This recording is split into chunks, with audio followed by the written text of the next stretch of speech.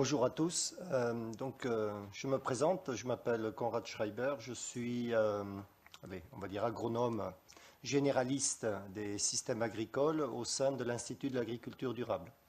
Donc moi j'ai un gros, comment dire, j'ai un profil un petit peu non conventionnel dans le monde des ingénieurs. Je suis un ingénieur par la voie professionnelle, la formation professionnelle pour adultes. Et euh, j'ai un gros passif agricole puisque j'ai été éleveur laitier 25 ans en Bretagne sur une ferme euh, en location. Hein. donc j'ai fait un bail long terme, je l'ai arrêté, je l'ai fini. Et je l'ai fini pour démarrer ce travail-là. En fait, à l'époque, euh, je suis installé avec les quotas laitiers, puis j'ai vu la PAC. Et à l'époque où la PAC est arrivée, il y a eu deux gros débats au sein des, agriculteurs. Et en tant que président cantonal d'une CUMA, j'avais un vrai débat en direct euh, autour euh, de la réglementation. Est-ce que la réglementation allait être capable de protéger l'environnement? C'était voilà. Donc c'est arrivé avec la directive nitrate dans les années 90. Et finalement, comme on était en Bretagne, j'étais dans une situation assez paradoxale avec ce groupe-là, puisqu'on était en centre-Bretagne dans des situations très très saines au niveau environnemental. Hein, j'étais une rivière classée verte, hein, donc euh, on n'avait pas trop de soucis, on se demandait ce que c'était l'environnement, hein, pourquoi il y avait des problèmes d'ailleurs. Euh, et, finalement, cette réglementation, elle va contraindre les agriculteurs à tout un tas de mises aux normes, de réglementaires, etc., avec des inflations de coûts dans un milieu où ils sont bloqués en, en production. Donc vous avez le ciseau des prix économiques qui arrive, puisque en fait, euh, artificiellement, la mise aux normes, elle va augmenter les charges de production. Et euh, la, la, réflexion était quel avenir pour l'agriculture et si le règlement ne protège pas l'environnement, que se passe-t-il? Existe-t-il d'autres solutions pour finalement préserver la qualité de l'eau et tout le reste? Et partant de là, donc euh, j'ai choisi un petit peu une autre voie, c'est-à-dire que euh, c'est on se pose la question de savoir si il existe effectivement des pratiques qui seront capables de produire et de protéger. Et donc ce cheminement, je vais vous le présenter. Donc euh, depuis, on a créé euh, plein d'associations, de groupes, euh, de l'innovation. Donc j'anime tout ça de façon transversale. Et actuellement, je suis chef de projet à l'Institut de l'agriculture durable, qui est en fait une institution qui est privée, hein, c'est-à-dire euh, on l'a formé exprès pour amener ce projet d'agroécologie à Paris avant qu'on ne parle d'agroécologie. Alors nous non plus, on ne parlait pas d'agroécologie, on parle de conservation des sols, etc., ou de sols vivants. Hein. Et en fait, euh, actuellement, on est capable de développer tout un tas de pratiques nouvelles et innovantes. Et je vais confirmer quelque chose qui a été émis comme hypothèse, c'est-à-dire que demain, l'agriculture aura un outil de production gratuit qui s'appelle la biodiversité et que vous ferez tout avec ça. C'est complètement extraordinaire, mais euh, de protéger les plantes jusqu'à labourer la terre, jusqu'à les faire produire de plus en plus. Les rendements vont doubler dans cette nouvelle agriculture. Quand on, quand on met le, vivant au service de la production, vous doublerez les rendements. C'est 30 ans de développement qui se préparent, c'est complètement extraordinaire et colossal. Donc le sud-ouest, il a un gros avantage parce qu'il a du soleil et de l'eau. Si c'est bien géré, on peut aller très loin. Euh, on pourrait étaler du biogaz, par exemple, avec des doubles cultures euh, sur la totalité de la zone, on va dire Toulouse-Bordeaux ou Toulouse-Niort, l'agence de l'eau à Dourgaronne. Hein, et donc le potentiel, en fait, il est colossal. Donc on s'y est mis, et euh, l'idée, c'était de vous présenter un petit peu tout ça, avec des raisonnements simples. S'il y avait une phrase à retenir pour tous les scientifiques, tous les ingénieurs, tous les techniciens, tous les paysans qui veulent aborder l'agroécologie, c'est celle-là enfin à mon avis. Donc le sol mange du carbone, et plus il va manger de carbone, plus il produira de l'azote. L'azote, c'est gratuit, et la question, c'est pourquoi je l'achète? En fait, je l'achète parce que euh, ben, je ne sais pas euh, que le sol doit manger du carbone pour produire de l'azote, tout simplement. Et donc, on a mené tout un tas d'expériences, euh, un petit peu comme fait le Conservatoire euh, régional d'Aquitaine. On mène des expériences avec des agriculteurs pionniers. Euh, j'en ai eu une particulièrement, je dirais, presque trop extraordinaire avec un, réseau qui s'appelle Maraîchage sur sol vivant, où bah, il s'est produit la confirmation que ça fonctionne. Alors du coup, le, le, premier débat que l'on s'est posé, il est relativement simple. Euh, les plantes poussent toutes seules La question, c'est pourquoi? Alors on a trouvé ça partout, vous faites le tour du monde, euh, systématiquement ça finit avec une forêt, ça pousse tout seul. Voilà. Sauf que dans une forêt, je ne fais pas de l'agriculture et je ne mange pas bien, je ne nourris pas bien ma société. Mais en attendant, il y a un petit truc, ça, ça fonctionne tout seul. Alors n'importe où je vais, eh ben, ça se passe de cette façon-là. Et finalement, les plantes, elles s'accrochent partout sur les rochers, etc. Euh, je dirais même partout où il y a des plantes, il y a de l'eau, ou alors c'est l'inverse, on ne sait pas trop. Mais on pourrait sans doute affirmer que si vous voulez de l'eau quelque part, il faut mettre des plantes. Et ces plantes-là, elles prolifèrent. Alors, c'est toujours, hein, c'est toujours pareil, mais toujours différent. C'est-à-dire que chaque pédoclimat, chaque écosystème a sa spécificité, c'est-à-dire une très grande variabilité, mais c'est toujours pareil. Même la forêt des Landes, qui a été une forêt plantée, eh bien, une fois qu'elle est plantée, elle pousse toute seule. Donc, euh, il y a un truc. Et puis, ce qu'il faut commencer à comprendre, c'est un truc très simple. La pédogénèse, qu'est-ce que c'est? En fait, c'est une formation de terre fertile. C'est la plante qui produit la terre fertile sur laquelle elle va proliférer. C'est elle qui attaque la roche-mère, qui va l'oxyder, qui, va la, qui va la dégrader, qui va l'attaquer avec des acides organiques, etc. Et elle va finalement produire son sol c'est-à-dire celui qu'elle a besoin pour proliférer là-dedans. On va lui faire confiance. En fait, à partir du moment où vous comprenez que la plante, elle fabrique la terre fertile qu'elle a besoin pour pousser, pour proliférer, eh bien, je dois me poser la question, est-ce que moi, humain, je sais fabriquer la terre fertile que la plante a besoin? Et puis là, euh, on a eu quelques petites surprises. En gros, on a commencé à comparer, euh, ben, je ne sais pas fabriquer une huître, je fais confiance à mon huître pour manger une huître. C'est pareil pour un nid, je ne sais pas fabriquer un nid, je fais confiance à l'oiseau pour qu'il fabrique son nid. Je ne sais pas fabriquer un arbre, je ne sais pas fabriquer un oiseau, je ne sais pas fabriquer une fleur. En fait, je prends une graine, je la cultive, mais je fais confiance à la plante ou à l'animal ou à la bactérie, enfin bref, je fais confiance. Et puis, curieusement, on a un raisonnement complètement inverse quand il s'agit du sol. C'est-à-dire, si je prends une huître, un oiseau, un arbre, je le passe dans un broyeur, ça ne risque pas de fonctionner très longtemps. et pourtant, je prends mon sol, je le passe dans un broyeur, et je veux que ça fonctionne. Et là, on s'est dit, euh, peut-être un hic là-dedans, il y a quelque chose qui tourne pas rond, Là, je fais des trucs extraordinaires. Je fais ça depuis je ne sais pas combien de temps. J'étais jeune agriculteur. J'ai participé à ça. Et, donc, euh, c'est avec le recul qu'on se dit, il y a peut-être une erreur. Et finalement, euh, on veut construire un sol avec ça. Et en fait, c'est sans doute comme construire une maison avec de la dynamite, ce truc-là. Et donc, euh, on a quelques petits problèmes à visiter. Et donc, l'idée, c'était de visiter tous ces paradoxes, c'est-à-dire pourquoi je ne fais pas confiance à ma plante pour produire le sol et pourquoi je passe mon temps à le passer à la moulinette. Et on se demande à quoi ça sert. Alors, finalement, on se rend compte que euh, d'autres individus de par le monde avaient des réflexions différentes, c'est-à-dire que les nomades de tout le temps, ils ont utilisé la prairie, dans la forêt, ben, ça pousse tout seul, on n'a jamais travaillé le sol. Euh, nos Amérindiens, ils ont inventé la milpa, c'est-à-dire euh, en fait un maïs avec une courge et puis euh, une liane dedans, un haricot ou une autre légumineuse. Et puis finalement, nos anciens, ils avaient des pré-vergers, des choses comme ça. Et finalement, on pourrait se demander si travailler le sol, hein, ce n'est pas une erreur de l'histoire, tout simplement.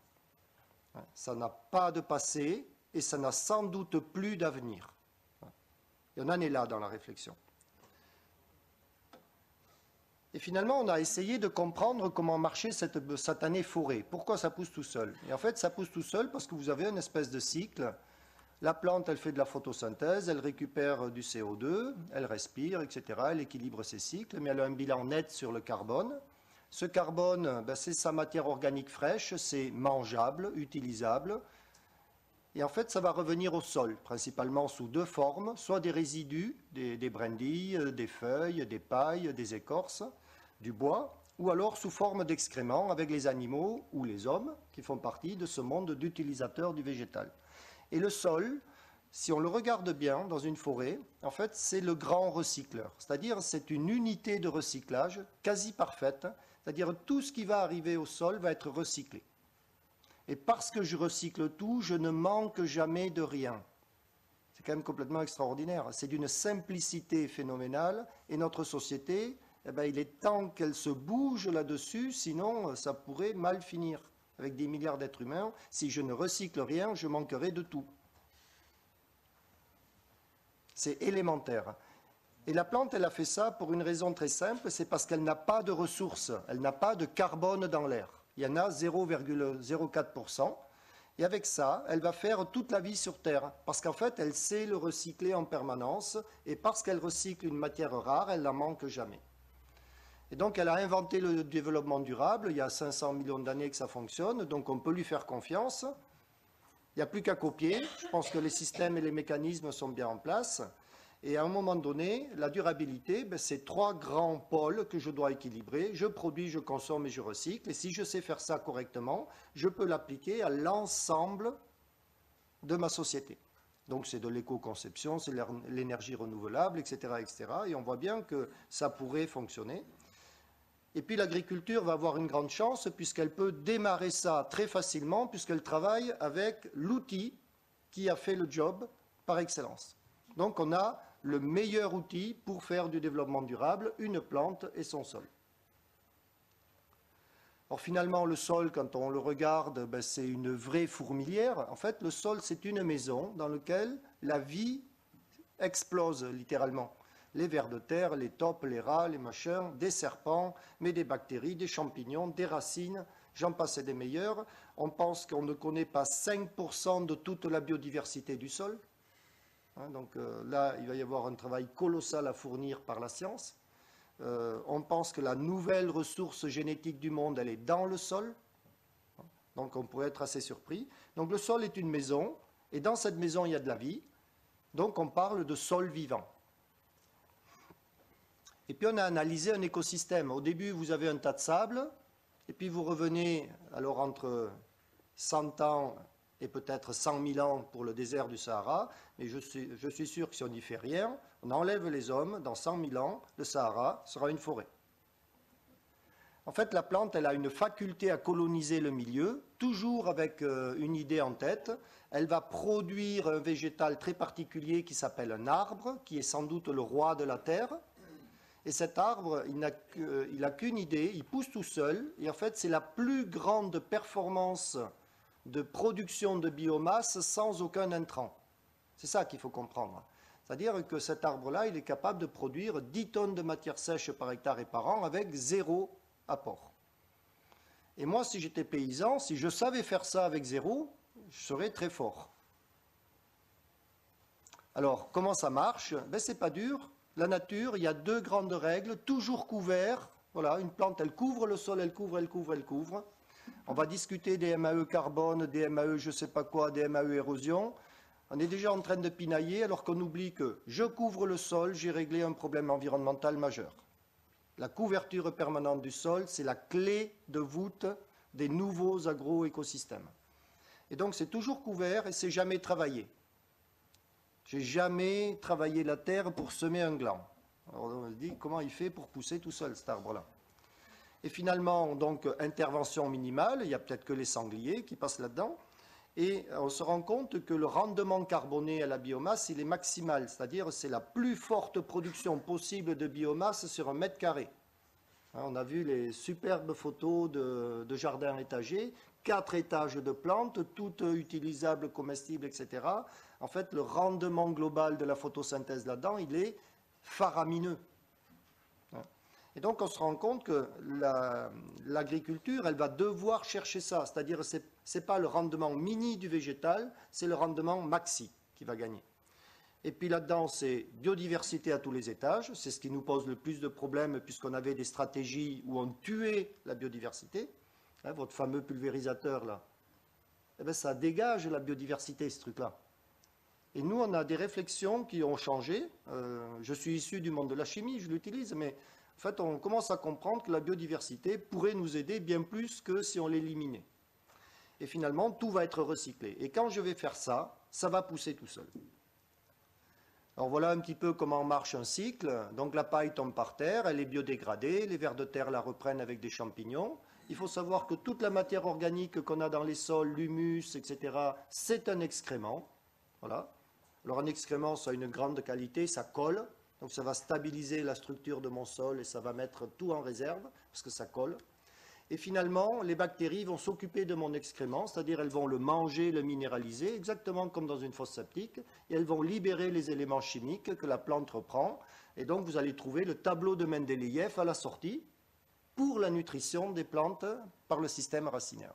Donc ça fait une boucle, et on se rend compte que la nature, elle a installé cette boucle de biodégradation de la paille, c'est-à-dire plus je mets de paille, plus j'ai d'éléments chimiques au bout, donc de l'azote.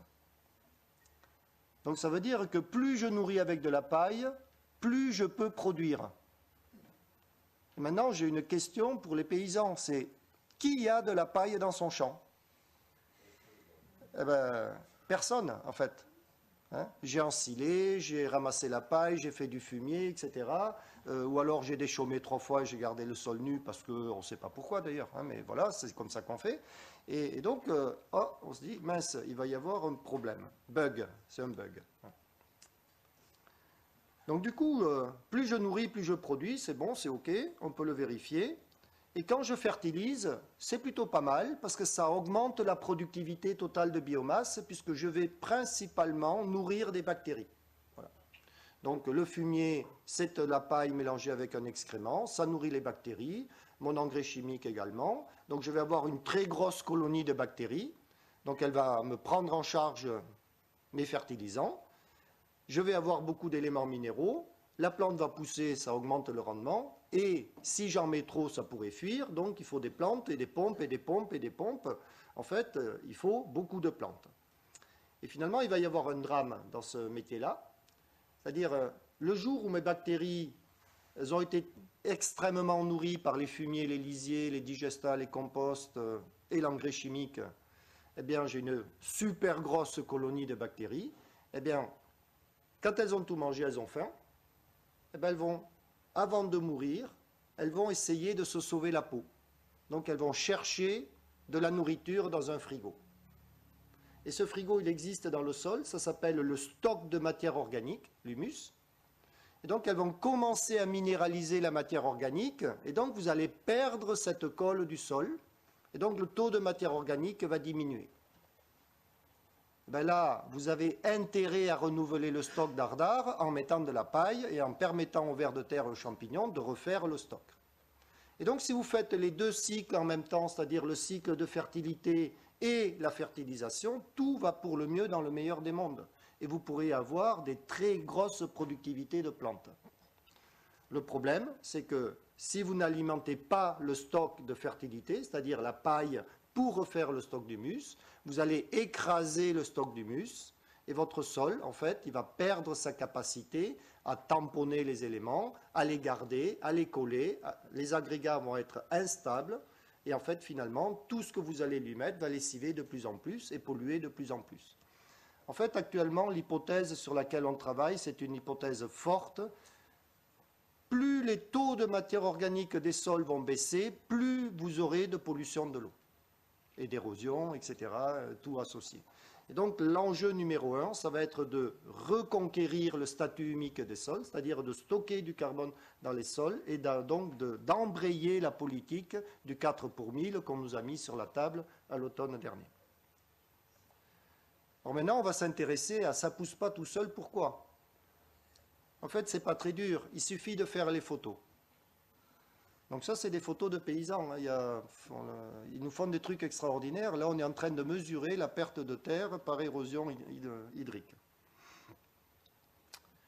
En fait, on a une vraie spirale d'oxydation, c'est-à-dire au début, j'ai une prairie ou une forêt, j'ai enlevé la biodiversité, une tronçonneuse, un bulldozer, une charrue, une herse rotative. Avant de mettre la chimie, j'ai tout détruit avec un outil. Donc on remet de l'ordre. Hein. Et ça, c'est compliqué. Donc la chimie n'est pas un problème si elle est bien utilisée dans un système avec de la biodiversité. Par contre, ça pourrait devenir un grand problème dans un autre système. Et en fait, vous allez détruire la biodiversité, perdre la matière organique, le sol va se compacter, vous allez utiliser de plus en plus de puissance, vous aurez de moins en moins de matière organique, la terre ne se tient plus, elle s'érode, elle se perd, vous perdez l'eau, vous avez le désert avec un tas de sable. Eh bien, vous pouvez faire n'importe quoi dans cette spirale, jamais vous arriverez au bout. Il faut couvrir le sol et arrêter de travailler pour reconstituer le système. Et donc là, si vous arrêtez de travailler la terre, eh bien, ce n'est pas une charrue qui va vous sauver, ce n'est pas un outil de travail du sol qui va vous sauver. Je dois me poser la question de la biodiversité. C'est-à-dire, est-ce qu'un ver de terre ne ferait pas mieux que mon outil? Alors voilà, ça c'est le Gers, euh, on connaît bien ça. Là, il y a un petit peu de biodiversité au milieu du champ. Et voilà ce que va faire systématiquement le paysan. C'est ce que j'ai appris à faire dans, ma carrière euh, d'agriculteur. C'est-à-dire, avec mes outils, je casse un habitat. On est, on est en train de voter une loi sur la biodiversité. Eh bien, il n'y a pas un mot sur la biodiversité dans la loi. Je suis inquiet. Pour avoir de la biodiversité, qu'est-ce que je dois avoir à tout prix? Je dois avoir une maison en bon état et de la nourriture dedans, point. Voilà, la loi, elle tient en deux mots. Hein. et donc, euh, si j'ai des pratiques qui construisent la maison et qui nourrissent les habitants, je vais produire de la biodiversité. Et si j'ai des pratiques qui détruisent les habitats et qui affament les habitants, je vais détruire la biodiversité. La biodiversité, ça ne se protège pas. Ça se construit ou ça se détruit. C'est un drame. Donc là, on est en train de voter une loi qui est bonne pour la poubelle. Trois mots, terminé. Au boulot, construisez-moi de la biodiversité, mot d'ordre. Et donc, euh, on le sait pour les abeilles, euh, ben, on le sait pour tout en fait. Et euh, ce que je fais dans mon champ, c'est exactement ça. Je détruis une maison, je détruis de la biodiversité, et ça va oxyder, minéraliser, ça va fuir de tous les côtés. Et à un moment donné, en fait, je détruis mon unité de recyclage. Et donc, si mon unité de recyclage n'est plus capable de recycler, ben c'est normal, je vais trouver des nitrates dans l'eau, des phytos, des machines, de l'érosion, de la terre, euh, etc. C'est évident. Et donc, l'idée, c'était de s'attaquer à ça, c'est-à-dire euh, de voir si on avait d'autres moyens de production. Alors bon, des photos, on peut en faire plein. Et puis finalement, on a commencé à faire des bilans. La fameuse milpa de mes Amérindiens, elle produit du grain, mais aussi 7 tonnes de paille, 8 tonnes de racines. Et on a commencé à se poser la question de la paille. Ma forêt, c'est 11 tonnes de matière sèche de litière et 10 tonnes de racines. Mais une prairie, c'est encore 7,5 plus 5. Et des rizeaux déposition de par le système. Et quand je fais une culture de tournesol, ben, j'ai récolté le grain entre 3 et 4 tonnes, mais j'ai plus que 2 tonnes de paille, 4 tonnes de racines et un petit peu de rizeau déposition. Et en fait, on va se rendre compte que la capacité à produire de la paille de mon système agricole, il n'est peut-être pas au rendez-vous par rapport à ce que je dois faire, c'est-à-dire la nutrition carbonée du sol. Et donc on a commencé à faire ces zooms très simples et à mener des expériences. Alors les expériences sont, voilà, on va en décrire une. On a créé un réseau, donc Charles a travaillé là-dessus, c'est maraîchage sur sol vivant. Voilà. Et donc l'idée, c'était de faire pousser euh, chez des jardins, euh, enfin chez des jardiniers en agriculture biologique AMAP, des systèmes où j'ai plus besoin de mettre de l'engrais, où j'ai plus besoin de désherber, d'accord? C'est-à-dire on enlève tout le travail inutile, où j'ai plus besoin de travailler le sol, je plante et je récolte. C'est ça le job. Parce que c'est quand je récolte beaucoup que je peux m'enrichir à vendre beaucoup. Et tout le reste, c'est du travail inutile, donc on a cherché à le supprimer. Et donc on a commencé à couvrir les sols avec de la paille, à les nourrir pour voir si finalement les légumes allaient pousser. Puis là on a été très surpris parce qu'on a des rendements conventionnels dans un système biologique où on ne nourrit le sol qu'avec que de la paille. Les méga boules, hein. je vous garantis qu'on souffre au bout du champ. Hein. Euh, et, donc dans ce débat-là, euh, on est en train de démontrer que oui, quand mon sol mange de la paille, ben, il produit de l'azote et je peux en profiter. Le C, c'est pour produire, hein, c'est ça Si tu veux. C'était un petit peu trivial, c'est parce que je les provoque un peu, mes maraîchers et mes paysans. Donc voilà à quoi ça ressemble. En fait, dans ce système-là, on peut, on peut, produire plus de 100 tonnes de betteraves, c'est 70 tonnes d'oignons, c'est 70 tonnes de patates. Si vous voulez des références, il n'y a aucun problème, euh, on aligne de la productivité. Alors comment ça marche? En fait, on s'est rendu compte que dès que vous allez mettre une litière sur le sol, vous avez une fixation euh, symbiotique de l'azote qui va se faire depuis l'air. C'est-à-dire que les bactéries qui vont dégrader la litière sont capables de fixer l'azote de l'air et à un moment donné, elles vont produire de l'ammonium qui va nourrir les plantes. Et quand il y a beaucoup d'ammonium, vous aurez aussi des nitrates. Et la plante qui pousse, elle va se comporter comme une pompe à nitrate, si vous voulez, une pompe à azote. Alors on comprend deux choses. Dans un système naturel, un écosystème, il n'y a pas de facteur limitant azote. Ça n'existe pas. On n'a trouvé aucune bibliographie scientifique qui nous dise qu'il y avait un facteur limitant azote. Et moi, j'ai toujours un facteur limitant azote quand je fais de l'agriculture. Hein. Donc, euh, ensuite, une des règles d'or, c'est que la paille, elle doit être sur le sol. Jamais enfouie dedans ni mélangée à la terre. Alors pour un truc très très simple, dans l'air, vous avez 80% d'azote. Il n'y a pas de CO2, de l'azote en pagaille. Donc si vous gardez la paille et la litière dans l'air, vous bénéficiez de l'azote de l'air, avec la possibilité de peut-être le récupérer.